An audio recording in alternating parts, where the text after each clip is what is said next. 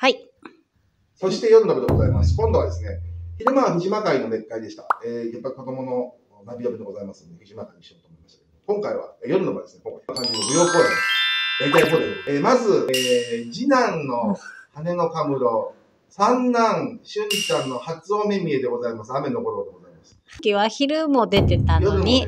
夜も出ると。はい。で、これはまあ、あの、これもですね、あ、あんまり気にせずに、なという感じで、えーこれも二人なりに踊ると思いますので、えー別に日本舞踊はこうだってくれて、二人なりに踊りをしていただければ、ともきはこう、でも、羽のかもる衣装つけるし。やってくれるかどうかもわからないです。え続きまして、トークトークショーでございます、これは。えー、えー、まあトークショーと言ってもね、誰が来てるのか何も決めてませんけども、えーそうですね。えーなんでこのメンバーがここにいるんだってことが分かればそうですね。いいかなと思うトークショーだと思います。はい。続きまして、えー、狂言舞踊でございます。高槻でございます。えー、まあ、大阪でございます。なんか、あの、昼間はね、その、末広がりでちょっと、とか、そういう肩肘を張らないね、作品もありましたので、夜の部もなんかそういうものが一つ、はい。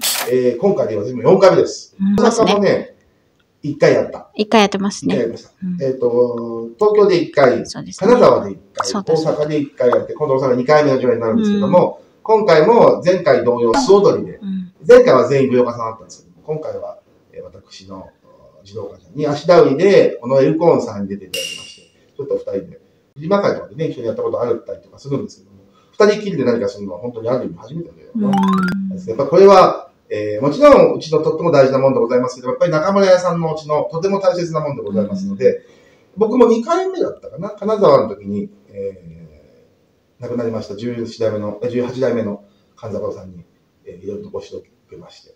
なので、その時に教わったこととか、やっぱ耳に残っているものとか、実はあんまりこれね、変わってないんです。うんあの、なんか自由にやってるように見えて、えーまあ変わってない。うん少しずつ自分の中でもこう残していくためにもおやりたいなと思って、今回、高槻を一つ目に用意いたします。三つ目か。はい、中村屋さんのが来てるとか、中村さんのためにうちの層が作ったの。で、六代目さん、六代目彦さんが作ったのとはまたちょっと違うのではない。えー千の亡くなったおおおじいちゃまの感じかな、うんうんは、こういうタップも得意だったんで、うん。で、ああいうふうにはできないということで、18代目は自分なりの工夫をいっぱい加えられて、うんそれを今の勘九郎さんがついてるんですね。うん僕はどちらかというと、11代目さんの方のやり方をちょっとついて、真似して。ああ、そうなはい、んですやろうかなと思ってるので、あんまり動きが激しくない。まあ、ソードにちょっと実は適してるので、うんその方が。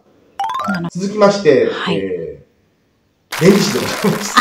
えー、親子のレンジでございます。今回、その、うちの道のりも毛をかぶそうか、うんいや、もうやめようか、ちょっとその辺はちょっと僕も考えてはいるんですけど、うんやっぱり素踊りという形でね、他の人がやってないことをやるっていうのも一つ、やっぱ私たちの大事なことなんじゃないかなっていうのをちょっと思っている。でも、あれですか？本当の、本当のというか、親子でやるのはまた、ああ、そうですね。うんどうなんだろう。違いますか？違うんじゃないかな。本当の親子でやるからこそ、まあ僕はあの、脳装束でやるんですけども、最後。うん。あの、そういう形で本当はやった方が、うん。やっぱ彼の、彼のこれからのことを考えたら、うん毛を振るとかってことは、またその時は、それを歌舞伎らしいものの時にやってもらえばいいのかなと思ったり、うんでもそれもやらしてやりたいなっていう気持ちもあったり、でも雲の糸もあるから、うんちょっと大変かなと思ったり、してまあ、遠くて近い将来にね、ともきとしゅんちゃん。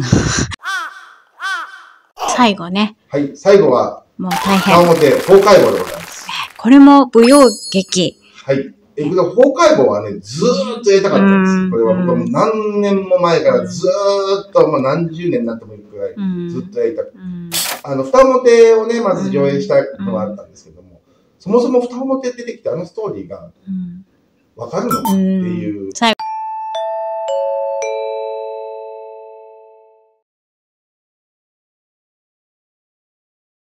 その僕も20代の頃に、あの、関のとという作品やった時も、うそれ思ったんですね。うん。あんな1時間に40分が関のとってあるんですけど、うんその関のとの話って誰もわかんないんですよ。うん。でもいっぱい小道具も出てくるし、いろんなアイテムも出てくるけど、うん誰しもがなんでそうなったかなんか誰もわかんないままに、うんそれを考えずして上演しているところがあったんで、、一回それを全部解明して自分が作品にしたことあるんですけどね。二人の、あの、崩壊棒と野分姫という、法された者同士が合体するというところの意味が、うんきっとわかるような、に、その前半をちょっと集約して、うんところを考えて、なるべく前の方は、うんあの、筋売りというのかな。うん。でやって踊りにつながるようなストーリー立てでそう。いうことで、一応私が崩壊を、えー松若丸を鯛之助さん。うんで、奥組を愛子さん。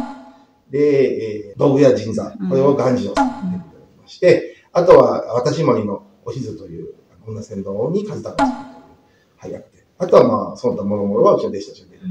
えーここで、まださん、あの、次男が出てきますので。次男通り過ぎるだけ。通り過ぎて、で通り過ぎて、で、へーって言って。実は私、あの、トークショーがね、一番、ね、語るって結構大事かなと思う。ああ、そうなんでね。ですこの人を生んだってのが、やっぱり、確かに。呼ばれなかった俺はってならないよならない。ね。きっと楽しんでいただけると思います。はい。やめます。はい。よろしくお願いします。